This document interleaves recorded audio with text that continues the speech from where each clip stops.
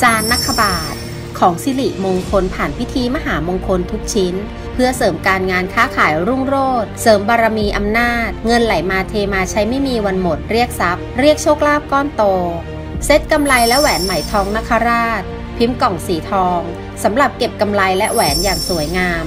ทุกชิ้นผ่านการทำพิธีจากสุดยอดอาจารย์ หากผู้ใดได้ครอบครอง ความร่ำรวยมั่งคั่งจะบังเกิด คุ้มครองปลอดภัย เรียกทรัพย์ เรียกโชคลาภ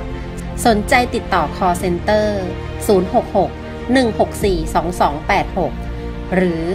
066 146 2286สวัสดีครับท่านผู้ชม ผมอาจารย์ชาญโทรี่นะครับ คลิปนี้เป็นคลิปพิเศษนะครับ จะมาเป็นคลิปทำนายดวงนะครับ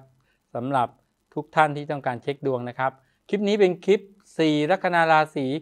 ดวงดีแห่งปีนะครับเกรด A เลยนะครับเป็นลัคนาราศีที่เรียกว่าดีสุดๆ เลยก็ว่าได้นะครับสองคลิปที่ผ่านมาฝากไปติดตามชมด้วยนะครับสี่ลัคนาราศีที่ดวงแข็งแกร่ง คือดาวมุตยูนะครับทับลักเล็งลักดาวเสาทับลัคนาเล็งลัคนาไปฟังดูว่าจะดีหรือจะร้ายยังไง แต่ว่าปีนี้เป็นปีที่ส่วนยากนะครับจะดีนะครับทิศทางก็รู้สึกว่าจะดีมากกว่าเสียนะครับ อีกคลิปหนึ่งจะเป็น สี่ลัคนาที่ฟ้าเปิดนะครับ เคยแย่ๆปีปีที่แล้วแต่ปีนี้นะครับ ดีขึ้นทันตาเห็นเลยนะครับ ฝากติดตามไว้ด้วยนะครับ ก็อย่างที่ผมบอกไปปีนี้ทำนายดวงแล้วไม่เครียด เพราะว่าดวงส่วนใหญ่จะดีมีดาวที่มีคุณสมบัติดีเป็นดาวดีเสริมนะครับไม่ได้ดาวเสียไปอยู่กับดาวที่นะครับคู่กันแล้วมันก็ทำให้ความร้ายแรงหรือความที่มันเป็นดาวร้ายเนี่ยลด ความร้ายลงนะครับ ตอนนี้มาถึงดาวที่ดีเนี่ยฉะนั้นตำแหน่งส่วนมากก็จะเป็นตำแหน่งที่ดาวดี ซึ่งเราต้องมองไปที่ดาวพฤหัสบดีนะครับ ซึ่งจะเป็นตำแหน่งราชาโชค ก่อนอื่นนะครับ ต้องพูดถึงลัคนาราศีนี้ก่อนเลย ลัคนาราศีเมษนะครับลัคนาราศีเมษเนี่ยจริงๆจะอยู่ท้ายเลยก็ดีนะ เพราะว่าดีทุกเรื่องดีทุกอย่างเลยแต่เอาขึ้นมาก่อนดีกว่าเนื่องจากเป็นราศีแรก แล้วก็เป็นดวงเมืองด้วย ฉะนั้นประเทศเราปีนี้นะครับ ค่อยยิ้มได้หน่อยนะ จะมีสิ่งที่ดีๆเกิดขึ้นนะครับที่บอกว่าเด่นทุกอย่างไม่ว่าจะเป็นการเงินการงานความรัก ดูจากตรงนี้ก่อน ตัวตนของชาวลัคนาราศีเมษเนี่ยดาวมุตยูที่อยู่ถึง 7 ปีเนี่ยนะครับอยู่นานกันนะแต่ว่าย้ายกำลังจะย้ายจริงๆย้ายไปย้ายมานะครับเดินผิดปกตินะครับย้ายกลับไปกลับมาอยู่ช่วงหนึ่ง แต่ 8 มีนาจะย้ายแบบถาวรแล้วนะแล้วก็ในราศีเมษเนี่ยนะครับอยู่มา 7 ปี แล้วจะวนกลับมาเนี่ยคืออีก 18 14 ปี เนื่องจากว่า 7 ปีย้าย 1 ราศีทั้งหมดมี 12 ราศีมันก็ 84 ปี เราคงอายุคงร้อยกว่ากันแล้วนะครับ ฉะนั้นก็ 84 ปีจะกลับมาอีกครั้งหนึ่งฉะนั้นท่านไปแล้ว พอไปแล้วตัวตนของคุณเองคนที่เกิดลัคนาราศีเมษเนี่ยโอ้โหมันมันเหมือนกับว่าเรื่องหนักๆต่างๆ หรือเรื่องที่มันมันไม่ดีเนี่ยมันมันได้โดนผ่อนถ่ายออกไป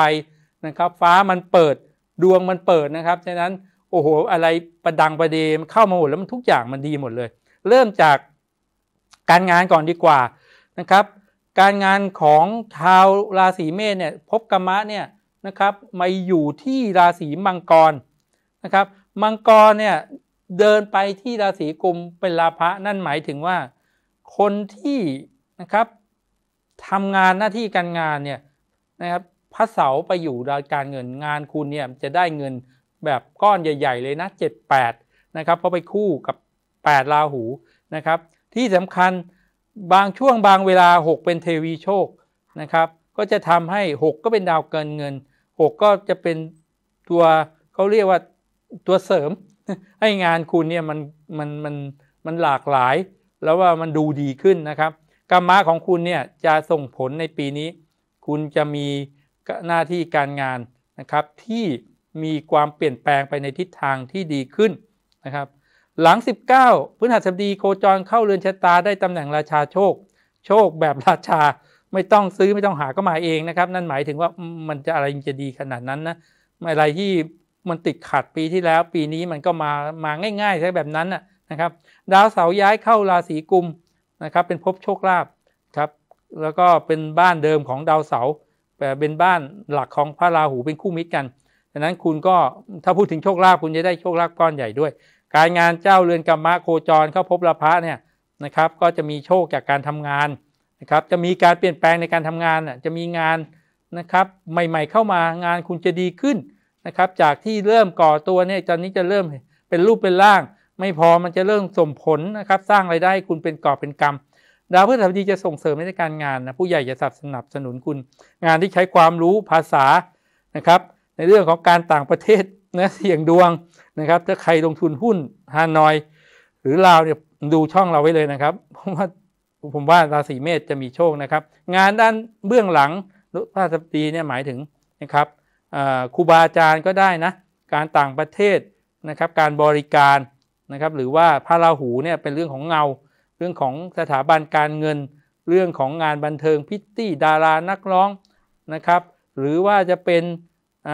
สายมูต่างๆเนี่ยครับดีหมดเลย ดีแทบทุกอาชีพเลยก็ว่าได้นะ การงานดีการเงินเด่นนะครับ เพราะว่ารายได้จากต่างถิ่นต่างแดนจะเข้ามานะครับ งานที่คุณทำนะครับ มันก็จะส่งผลโดยเฉพาะงานจากโซเชียลมีเดียหรือจะเป็นงานจาก นะครับอสังหาริมทรัพย์ คุณมีเกณฑ์นะครับ อสังหาริมทรัพย์เนี่ยคุณเป็นราชาโชค คุณมีเกณฑ์ได้บ้านใหม่ รถใหม่นะครับ เงาเนี่ยอาจจะแปลว่าเพชรก็ได้นะ หรือว่าทองคำก็ได้คุณมีโอกาสได้ ได้ได้ซื้อทองนะได้ได้เพชรก็ได้นะถ้าเป็นผู้หญิงอาจจะชอบเพชรมากกว่าทองนะครับ ปีนี้มีโอกาสถูกรางวัลใหญ่ด้วยนะครับ เพราะว่า 58 นะครับ มีเกณฑ์ลาภะเป็น 78 58 เป็นโชคลาภแล้วก็เป็นคู่พลิกแพง คู่เปลี่ยนแปลงของคุณนะครับ กระดุมพระการเงินเนี่ยคุณมีดาวมฤตยูอยู่นะครับการเงินใหม่ ๆ การเงินคุณจะมีการเปลี่ยนแปลงแต่เปลี่ยนแปลงในทางที่ดีนั่นหมายถึงว่าคราวที่แล้วปีที่แล้วเราจะกู้ไว้แล้วมันไม่ผ่านปีนี้ลองกู้ใหม่ฮะจะได้จะได้เงินกู้กลับมาลงทุนนะครับจะได้เงินจากการกู้มาจับจ่ายใช้สอย เพราะว่ามันจะผ่านนั่นเอง ความรักความรักนะครับอยู่ในภพ ปัตตนีในราศีตุลนะครับ ราศีตุลเนี่ยในปีที่แล้วเนี่ยความรักอะมันเล็งกับตัวคุณอะมันมีดาวมฤตยูอยู่ ทุกอย่างมันอึมครึมมันติดขัดไปหมดเลยนะครับทำอะไรมันก็ไม่ดีไปหมดนะไม่เข้าตาแฟนเราไปหมดเลย แต่ในปีนี้คนมีคู่จะแฮปปี้นะครับ เพราะว่า 58 เป็นคู่ส่งเสริมกันนะครับ ช่วยเหลือกันดีนะครับ อาจจะมาช่วยงานคุณอาจจะมาสนับสนุนมาขับรถให้คุณหรือว่าอาจจะ ให้คำปรึกษาหรืออาจจะให้กำลังใจคุณนะครับ ส่วนคนที่เป็นโสดนะครับ ปีนี้นะครับคุณมีโอกาสที่จะเจอเนื้อคู่ แต่ว่าน่าจะเป็นคู่ต่างวัยนะครับ5เนี่ยเป็นคือผู้ใหญ่กว่านะครับ แล้วก็มาไวด้วยนะ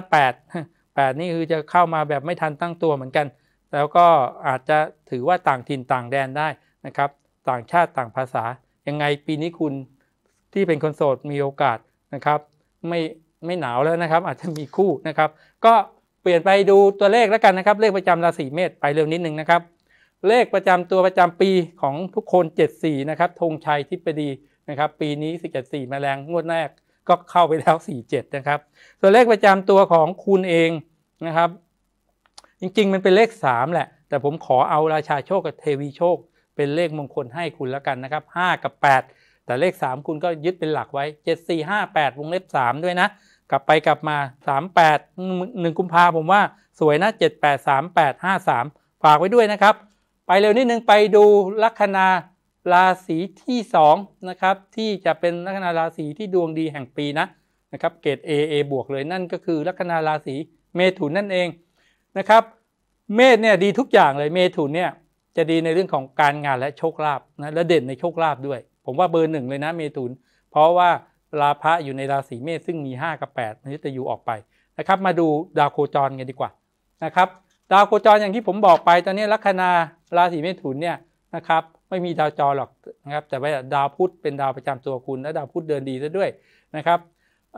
ในตำแหน่งที่สำคัญหลัง 19นะครับหลัง 19 เมษาไปเนี่ยดาวพฤหัสจะเป็นราชาโชคนะครับแล้วก็ดาวพระราหู 8 มีนานี่ย้ายแล้วทำให้นะครับคู่ 58 เป็นคู่แห่งการเปลี่ยนแปลง ปีที่แล้วโชคอาจจะมาเรื่อยๆนะครับแต่ปีนี้จะมาแบบใหญ่ ๆเลยนะครับเพราะว่า7เนี่ยนะครับอยู่มังกรย้ายไปอยู่ที่ราศีกุมภพเนี่ยคู่ 78เนี่ยเป็นภพสุภะภูปะสุภะขอโทษนะครับ แปลว่าสำเร็จ แปลว่าดีเลิศดีงาม สมหวังนะครับฉะนั้นถ้า 78 ส่งเสริมลาภะเราเนี่ยนะครับ ก็จะทำให้ในเรือนราศีเมษซึ่งเป็นราพะโชคลาภเนี่ย เป็นดวงที่ดวงดีมากๆเลยนะครับ ไปดูการงานก่อน การงานราศีมีนเป็นภพกรรมะ นั่นหมายถึงการงานคุณเนี่ยจะได้ตำแหน่งราชาโชค การงานคุณก็สำเร็จ อย่างที่ผมบอกไปว่า การงานกับโชคลาภเด่นนะราศีเมถุน เพราะการงานได้ตำแหน่งราชาโชค โดยเฉพาะงานที่ทำเกี่ยวกับโซเชียลมีเดียงานให้ความรู้ งานครูบาอาจารย์ งานโคชชิ่งให้คำปรึกษา เรื่องการเงินก็ได้เดี๋ยวนี้มีเยอะเลยนะ ทำยังไงให้เก็บเงินอยู่ทำบัตรเครดิตยังไง บริหารการเงินซื้อหุ้นลงทุนอะไรยังไงก็ได้ 8 เป็นเงาเงานี่แปลว่าบางบางบางสำนักโหราศาสตร์เขาสอนว่า8เนี่ยเป็นสถาบันทางการเงินนะครับกู้เงินทำงานด้านการเงินนี่ก็จะสำเร็จนะแล้ว8เนี่ยเป็นเงาเงานี่เขาก็แปลว่าเบื้องหลัง คุณจะเป็นหมอดู คุณจะเป็นนักแสดงพิธีกรพริตตี้ คุณจะเป็นงาน entertain อะไรเงี้ยดีหมดเลยงานดีมากเลยนะครับ เพราะว่าตำแหน่งราชาโชค การเงินนะครับกระดุมพระการเงินนะครับเมมิถุนากรกฎาสิงหานะครับ ดาวการเงินจะได้ตำแหน่งราชาโชคนะครับ อยู่ในเรือนดาวจันทร์นะครับ ตัวคุณเลข 4 2 4 6 นะครับ เมถุนเนี่ยผมว่าต้องไปทำสายมูดีไหมเนื่องจาก 2 4 6 เนี่ยมันเลขเมตตามหานิยมชัดๆนะ 2 4 2 6 4 6 นะครับ คุณก็จะมีเสน่ห์นะอย่างว่านะ คุณมีเงิน แล้วคุณก็งานดีโชคเด่น โอ้ผมว่านะมีเสน่ห์แน่ๆนะแต่ก็ระวังไว้นิดนึงนะครับ เพราะว่าเนื่องจากว่าเขาเรียกว่าอะไรดีนะ ดาวราหูนะครับ มันก็จะมัวเมาได้เหมือนกันนะครับ การการงานดีการเงินเด่นนะครับ มาดูความรัก ปัตตนิคู่ครอง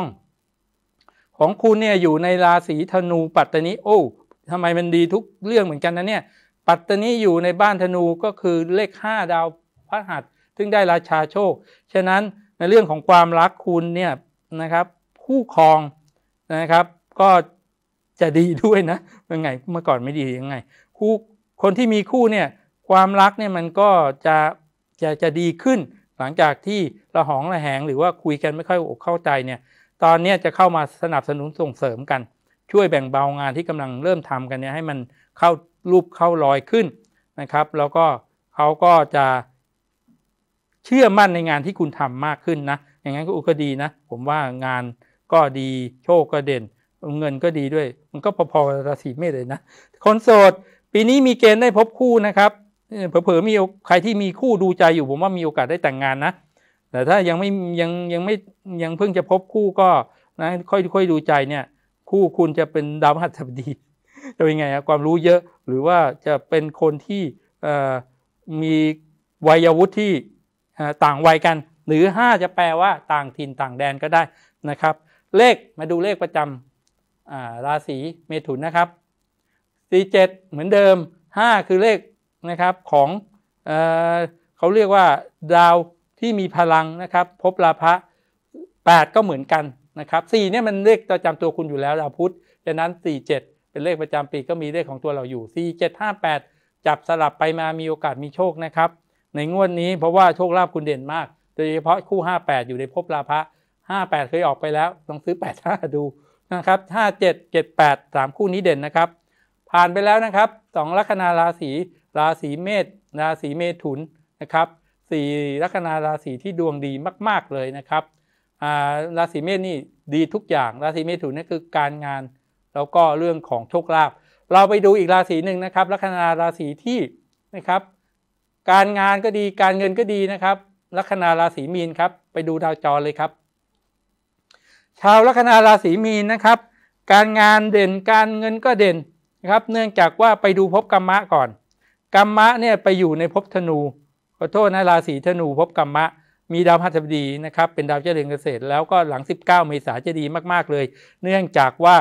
ดาวพระหัสบดีเนี่ยจะเป็นราชาโชคนะครับปีนี้นะครับการงานจะดีขึ้นทันตาเห็นดาวพฤหัสบดีเนี่ยจะทำให้งานคุณบูมสุดๆเลย โดยเฉพาะงานโซเชียลงานเกี่ยวกับความหมายของดาวพฤหัสคืองานที่เกี่ยวกับสติปัญญาความรู้ การทำ YouTube TikTok โซเชียลจะสำเร็จดีนะครับ แล้วก็งานเกี่ยวกับทางด้านเลข8 นะครับ งานที่อยู่เบื้องหลังหลาย ๆ อย่างนะครับ ก็สามารถที่จะทำได้ การเงินเนี่ยอยู่ในภพนะครับการเงินอยู่ในภพกระดุมพระราศีเมษโอราศีเมษมีห้าแปดราชาโชคกับเทวีโชค ฉะนั้นการเงินจะพลิกผันกว่าปีก่อนๆแน่ห้าแปดเนี่ยคู่เปลี่ยนแปลง คู่พลิกแพงนะครับเงินที่ฝืดเคืองหมุนเงินตัวเป็นเกลียวหัวเป็นน็อตปีนี้จะอู้ฟู่เฟื่องฟูนะครับ พื้นรหัสราชาโชค ราหูเทวีโชค คู่พลิกแพงเนี่ยจะทำให้คุณเนี่ยเปลี่ยนแปลงไป โดยเฉพาะความฉลาดของพระรหัสสติปัญญา แล้วก็ความเจ้าเล่ห์เพทุบาย หรือความมีเหลี่ยมของพระราหูนี่มันลงตัวกันดีจริง ๆ เลยนะครับ จะทำให้คุณชนะคู่แข่ง ชนะศัตรูคู่ความคู่ค้าต่างๆนะครับ ประมูลอะไรรับงานอะไรคุณก็เหนือชั้นนะครับ ฉะนั้นการงานดีการเงินเด่น โชคลาภโชคลาภก็ไม่เบานะครับ มีเข้ามาแน่นอน เผลอๆผมว่าจะถูกรางวัลใหญ่ด้วย เนื่องจากว่าโชคลาภเนี่ยดาวเสาร์เนี่ยย้ายไปอยู่ในราศีกุม พบลาภะของชาวราศีเมษไม่พอคู่ 78 เป็นอะไรที่เล็กๆ ไม่ใหญ่ ๆทำอย่างนั้นชาวราศีมีนนี่ ผมว่าเป็นอีกราศีหนึ่งที่นะครับมีโอกาสถูกรางวัลใหญ่นะครับ มีโอกาสสูงทีเดียว ไปดูความรัก ปัตตานีอยู่ในราศีกันดาวพุธดีนะครับ เดินหน้าตลอด แล้วก็ ในบางตำแหน่งดาวพุธก็จะได้เกษตรแล้วก็ไปอยู่ในส่วนของออคู่มหานิยมนะครับสองสี่สี่หกฉะนั้นความรักคนมีคู่เนี่ยนะครับสี่เนี่ยโซเชียลหมายถึงเดินทางก็ได้นะครับคุณมีโอกาสที่จะได้เดินทาง แล้วก็ดาวพฤหัสบดีก็มีเกณฑ์ด้วยนะ คุณมีโอกาสที่จะได้เดินทางไกลเออถ้าเกี่ยวกับความรักเดินทางไปทำไม อาจจะเดินทางไปท่องเที่ยวฮันนีมูนรอบสองไปไม่ได้ไหมเพราะความรักมันดีไง ความรักมันมีความสุขก็อาจจะเป็นไปได้ว่าคุณอาจจะเดินทางไปนะครับทำให้ความรักคุณมันแน่นแฟ้นนะครับ ดีขึ้น คนโสดปีนี้มีโอกาสเจอคู่แน่ ๆนะครับ แต่คู่เนี่ยมันต้องเดินทางแต่แปลว่า เป็นคนที่เป็นเพื่อนเก่าสมัยเรียนได้ไหมมันได้มาเจอกันหรือจะเป็นคนที่เคยคบกันมาก่อน แล้วมีโอกาสกลับมาปะกันแหมกลับมาเจอกันอีกครั้งหนึ่งหรือจะเป็นรักต่างวัยก็ได้ ไปดูตัวเลขนะครับ ตัวเลขของชาวราศีมีน 74 คู่หลักของเรา แล้วก็คู่ 58 นะครับ เป็นคู่ที่ผม 5 เป็นตัวคุณ 8 นะครับ เป็นพระราหูนะครับ ซึ่งอยู่ในนะครับพบการเงินนั่นเองนะครับ 7458 นะครับ ก็ครบแล้วนะครับ 3 ลัคนาราศีเหลือราศีสุดท้ายนะครับ ลัคนาราศีกันนะครับ ไปดูดาวโคจรของราศีกันเลยว่ามาได้ยังไงนะครับ เพราะว่าผมบอกเลยเลือกยากเหมือนกัน หมอดูท่านอื่นอาจจะชอบมังกรชอบธนู แต่ผมเลือกกันนะครับ ราศีกันนะครับ การเงินนะครับอยู่ในราศีตุลนะครับ โชคลาภอยู่ในราศีกรกฎการงานนะครับอยู่ในราศีเมถุนซึ่งเป็นเขาเรียกว่าเกษตรสองเรือนนะครับราศีกันก็มีดาวพุธเป็นดาวเจ้าเรือนเกษตร ราศีกันนะครับ ก็เป็นดาวพุธเมถุนก็เป็นดาวพุธการงาน เป็นดาวพุธพุธเนี่ยผมบอกแล้วเป็นดาวกลางๆ แต่พุธเนี่ยมันมีความสัมพันธ์กับชีวิตประจำวันเราการพูดเนี่ยถ้าเราพูดดีนะบางทีเราก็ทำให้คนเมตตารักใคร่ถ้าเราพูดไม่ดีก็ทำให้คนเกลียดชังได้ แล้วคนที่รวยจากการพูดไม่ว่าจะเป็นนักพูดหรือนตอุดมเนี่ยโอ้โหพูด ผมดูแทบทุกทุกเขาเรียกอะไรนะ ทุกเดี่ยวเลยนะโอ้มันมันผ่อนคลายแล้วมันฮาดีจริง ๆ นะครับ หรือจะเป็นขายของออนไลน์ ผมเพิ่งรู้จักนะ ปีหนึ่งได้เป็นสิบล้านนะเพราะว่าเดือนหนึ่งเขาได้เป็นล้านนะโอ้เขาพูดยังไงมันพูดเก่งจริงๆ เดี๋ยว F เดี๋ยว F ผมยังเผย F ของไปทั้งหลายชิ้นนะครับดังนั้นคนที่ไปเปิดร้านขายของเดี๋ยวนี้โซเชียลเนี่ยเราไม่ต้องมีหน้าร้านแล้วนะเราไลฟ์เป็นเราพูดเก่ง เราพูดดีเป็นสีแก่ปากนะทำเงินได้เหมือนกันนะครับฉะนั้นดาวพุธดีเนี่ยนะครับก็จะทำให้นะครับการสื่อสาร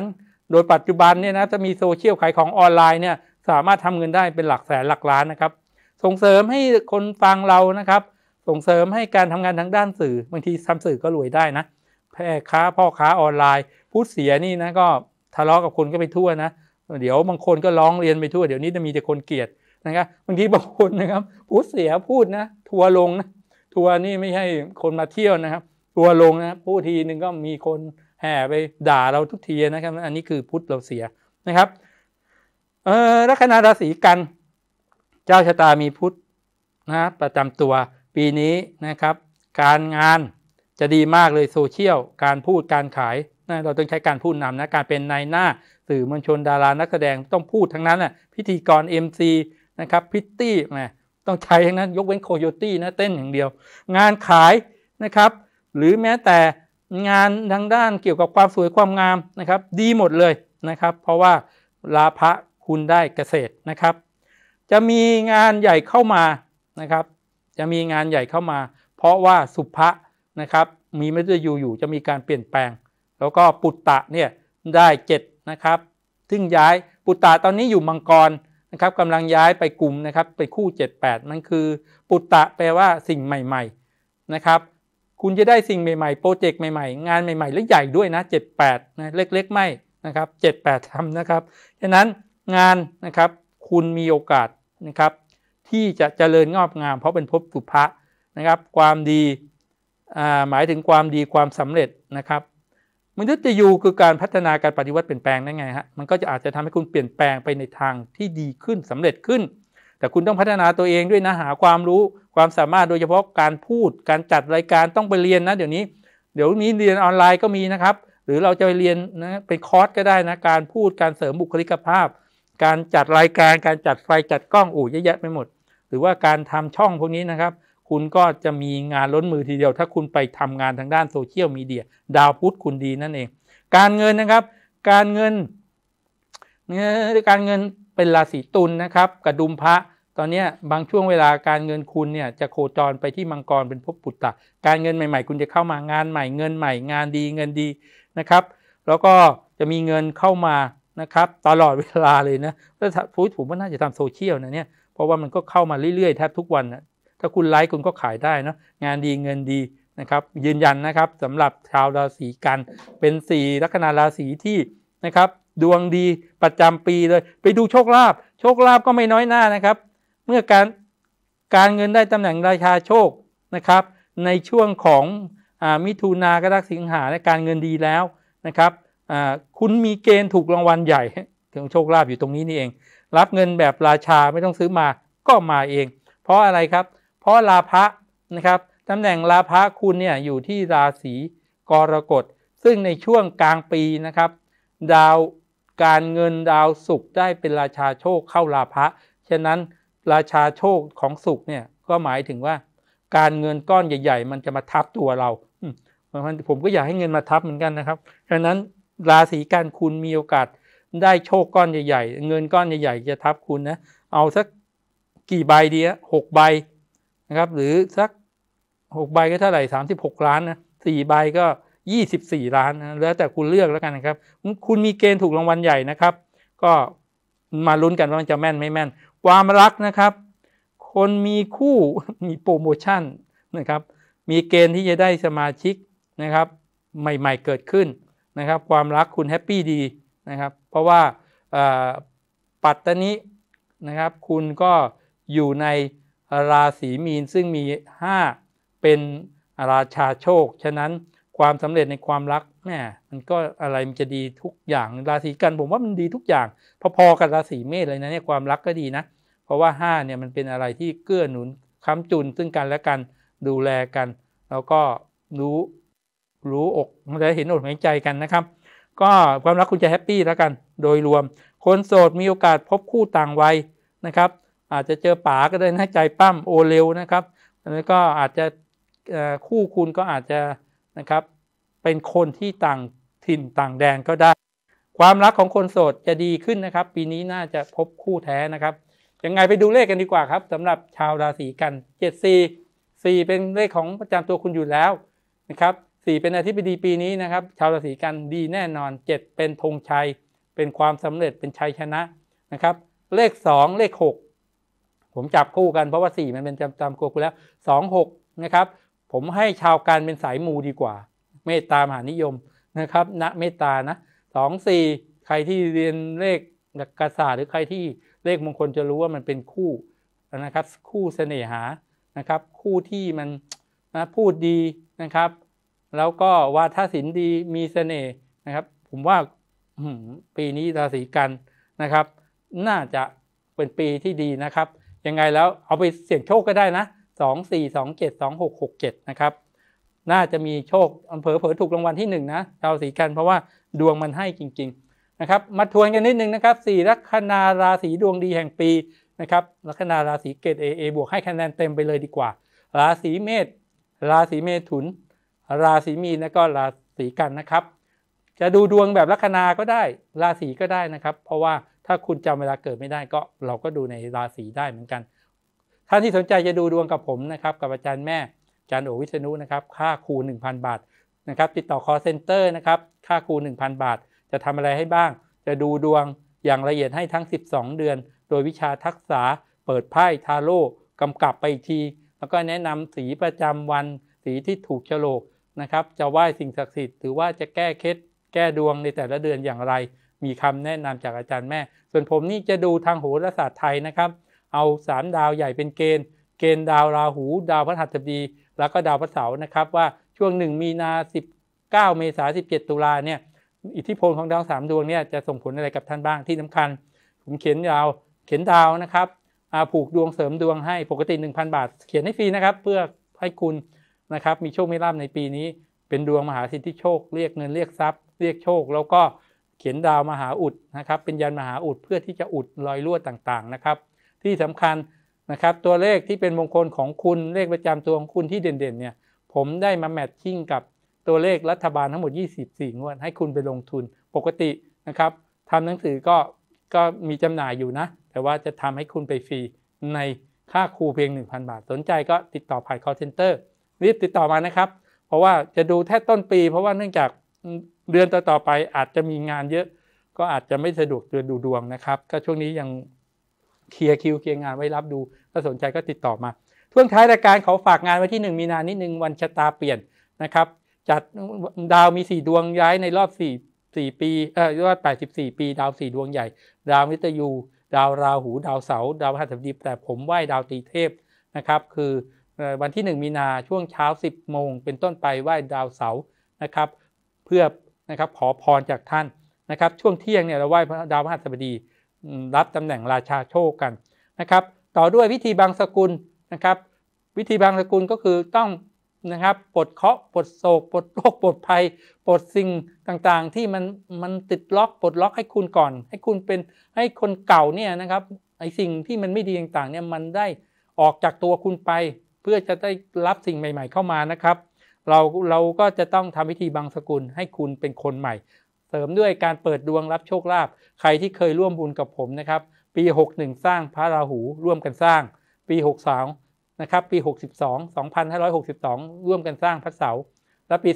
2565 นะครับ ร่วมกันสร้างปู่ย่าพญานาคนะครับ มาร่วมกันนะครับ มีเกจิอาจารย์จากนะครับจังหวัดอุบลราชธานีนะครับ จะมาทำพิธีเปิดทรัพย์เปิดโชค นะครับเปิดความสำเร็จให้ท่าน ให้องค์สามเทพประทานพรให้เรา ในฐานะที่ท่านเป็นคนที่นะครับมีจิตศรัทธาร่วมบุญร่วมกุศลมาตลอดเวลา ท่านเป็นคนใจบุญแล้วท่านก็ร่วมกันสร้างนะครับองค์เทพสิ่งศักดิ์สิทธิ์ที่เรานับถือขึ้นมา ท่านจะประทานพรในเรื่องทรัพย์สินการเงินและโชคลาภให้เรานะครับ ถ้าท่านมาได้มานะครับ วันที่ 1 มีนาเป็นวันพุธลางานล่วงหน้าเลยมาเจอกัน ผม 3 ปีแล้วผมไม่ได้จัดงานใหญ่ จัดทีนึงเราไหว้สามองค์เทพ มาครั้งเดียวท่านจะได้คุ้ม แล้วก็ไม่ต้องมาบ่อยนะครับ แล้วก็ในช่วงบ่ายเราจะมีการทำพิธีนะครับปลุกเสกน้ำมนต์ว่าร้อยแปดเพื่อให้ท่านนำกลับไปผสมน้ำอาบแก้นะครับสิ่งลบต่างๆ และเพิ่มความเป็นมงคลเอาขวดพลาสติกเปล่ามาด้วยนะเพราะผมหาไม่ทันนะครับเป็นพันๆขวดนะครับ ติดตัวมานะครับ แล้วก็ในช่วงเย็นเราจะไหว้พระราหูขอพรขอโชคกันครับงานเลิกตอนเย็นๆเท่านั้นเองนะครับ ให้ท่านใส่ชุดขาวมา นะครับ เน้นนิดนึงนะครับไหว้สามองค์เทพ องค์เทพละ300 บาท ถ้ากำลังเราไม่พอเราไหว้องค์เทพองค์เดียวก็ได้ แต่ถ้าเรามีกำลังผมเรียนเชิญให้ไหว้สามองค์เทพเลยนะ900 บาทไหว้กัน 3 องค์เลยนะครับ เพราะว่าเนื่องจากว่าเรามีของไหว้ แล้วก็เรามีบายศรีมีธูปเทียนต่างๆ แล้วก็ไหว้เสร็จให้กำนำของไหว้ของมงคลกลับไปด้วย ให้แต่งชุดขาวมานะครับ แล้วก็อย่าลืมนำขวดพลาสติกมาใส่น้ำมนต์กันด้วยนะครับสถานที่มูลนิธิธนาคารเพิ่มบุญ ศาลเจ้าพ่อเสือที่ใหญ่ที่สุดในโลกนะครับ ถนนกาญจนาพิเศษนะครับ เยื้องแมคโครบางบอนของเราอยู่ใกล้ๆ เดอะมอลล์บางแคนะครับ มาไม่ถูกถาม call center ที่ขึ้นหน้าจอได้นะครับนะครับ ยังไงก็ฝากไว้ด้วยนะครับ งานวันที่ 1 มีนานะครับ ทุกท่านสามารถมาร่วมงานได้ตั้งแต่เวลา 10 โมงเป็นต้นไปนะครับ ก็อย่าลืมนะครับ ผมมีคลิปที่อัดไปหรือว่าที่จัดไปอีกสองคลิปนะครับสี่ลัคนาราศีที่ดวงแข็งแกร่ง นะครับใครที่คิดว่าหมอดูทำนายว่าดาวเสาทับ ดาวเสาเลงดาววิทยูทับ ดาววิทยูเลงจะแย่ยังไงมาฟังคลิปของผม แล้วก็สี่ลัคนาราศีที่ดวงฟ้าเปิดนะครับ ปีที่แล้วอึดอัดย่ำแย่ปีนี้ดวงดีมากมายนะครับ ติดตามด้วย แล้วก็ลัคนาราศีที่ดวงดีนะครับ เกรด A แห่งปีนะครับทวนอีกนิดนึงนะครับลัคนาราศีที่ดวงดีแห่งปี ลัคนาราศีเมษลัคนาราศีเมถุน ลัคนาราศีมีน และก็ลัคนาราศีกันนะครับ ก็ขอบคุณทุกท่านนะครับที่ติดตามแล้วก็ยังไงแล้วนะครับฝากติดตามรายการของเรา แล้วก็อาจารย์ของเราทุกๆ ช่องด้วยทุกๆ รายการด้วยทางช่องของเรานะครับ ของผมเองนะครับวันที่ 2 กุมภานะครับ ผมจะกลับมาจัดไลฟ์สดช่วงบ่ายสองใครที่สนใจจะถามเรื่องดวง จะคุยเรื่องตัวเลขรัฐบาลก็สามารถเข้ามาชมได้ 2 กุมภาบ่าย2นะครับทางช่อง Immediate Channel Asia นะครับขอให้ นะครับ ช่วงตุจีนนะครับ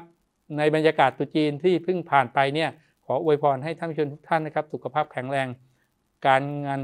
นะครับ การงานมั่นคง มีความเจริญรุ่งเรืองนะครับ มีโชคมีลาบนะครับ แล้วก็ขอให้เงินวันที่ 1 กุมภานี้เฮงๆปังๆ ทุกท่าน นี้ลาไปแล้วครับ สวัสดีครับ เกลือมงคลและทองคำเปลวปลุกเสก 888 เสริมสร้างพลังบวก ดึงดูดทรัพย์ รับโชคดี ร่มเย็นเป็นสุข ชำระล้างพลังลบกำจัดสิ่งอัปมงคลและคุณใส่ต่างๆ ที่ตกค้างให้หมดสิ้นไปได้ เกลือมงคลและทองคำเปลวปลุกเสก หยิบกำมือโรยหน้าประตูหรือใส่ภาชนะวางไว้มุมห้อง สามารถชำระล้างและนำไปแช่ตัวซับพลังงานลบเพื่อป้องกันคุณใสเกลือมงคลและทองคำเปลวปลุกเสก